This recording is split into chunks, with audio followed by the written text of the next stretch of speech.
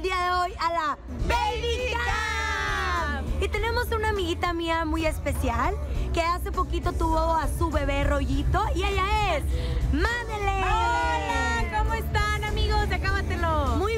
Oye, todos los fans de Acábatelo y tus fans quieren saber, por ejemplo, yo ya voy a entrar al séptimo mes. Ajá. ¿Cómo te iba a ti en, entre el sexto y el séptimo mes? ¿Por qué estabas pasando? ¿Ascos, mareos? Sí. Mira, te voy a platicar rápidamente. A mis 6, 7 meses de embarazo yo tenía demasiado, demasiadas ganas de elote.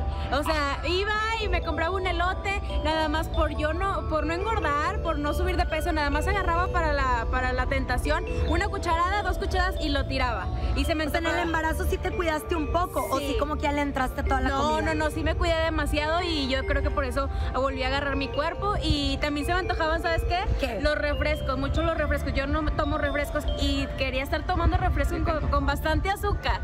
Entonces, Oye, para mí el refresco de uva es así de que con hielitos, cállate. Sí, ándale. wow. Sí, se me antojaban mucho los, elo- los elotes, este, los refrescos y todo lo dulce. Pero eso era La pizza algo, con espagueti. eso era algo que antes no comías. Ajá, no. Que fue no, en el comía. embarazo. Sí, no comía nada de eso y ahora que, bueno, en los 6, 7 meses de embarazo era lo que más se me antojaba. Pero después eh, me cuidé, te voy a decir con qué, unos consejos. A me ver. cuidé con eh, unas cremas que después te digo cuál y unas vendas. Me vendé eh, la pancita con poquito, ¿verdad? obviamente, Ajá. para que no, no me le hiciera mal al bebé. O sea, siempre estuviste bien fajadita. Ajá, siempre estuve bien fajadita y... Y, y en la este, cuarentena no te moviste mucho o si fuiste muy no. activa. Y recuerda que siempre en la cuarentena tienes que ponerte los algodones aquí para que no te entre el Ah, aire. ¿eh? Así es que cuídate mucho. Y Calcetas.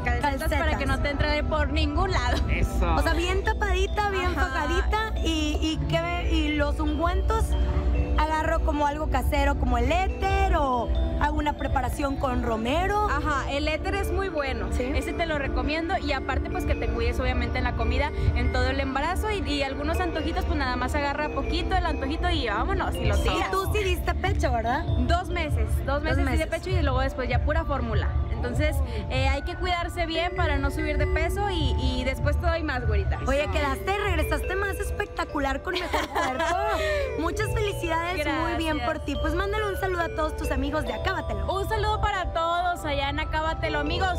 ¡Mua! Besos, bye bye. Pues estos fueron los consejos de mi amiguita Emma. Huevo. Para todo, o Madeleine, para todas las mamitas que nos están viendo, las que están Sí. embarazadas, que se cuiden mucho, ¿eh? Sobre todo las mamás primerizas, güera. Claro. Ajá. Regresamos al estudio. Bye. Gracias. Grupo Dulce.